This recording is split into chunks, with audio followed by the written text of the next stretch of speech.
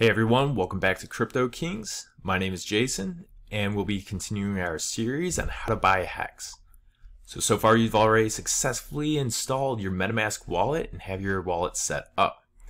Now, let's look into how to buy Ethereum through your wallet.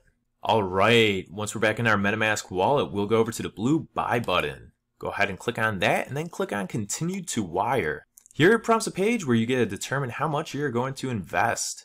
So, for example, $100 here will equivalent to about 0.031 Ethereum.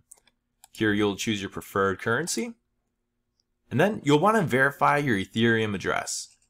That we can find on our Ethereum wallet right under where it says account 1. OXE4E. OXE4E. Perfect. Choose Apple Pay or card payment. Then you'll authorize Wyre to use your account. Click Next. And here we'll enter in our payment information and then hit Submit. Once your transaction is submitted, please allow the system a few minutes to process your order. Once completed, you'll see your MetaMask wallet update with a new amount of Ethereum listed right here, and then the US dollar value listed directly below it. Congratulations, you have successfully bought your first Ethereum. Now, check out our next video as I'll walk you through step by step how to use your Ethereum to buy and stake Hex. So stay tuned.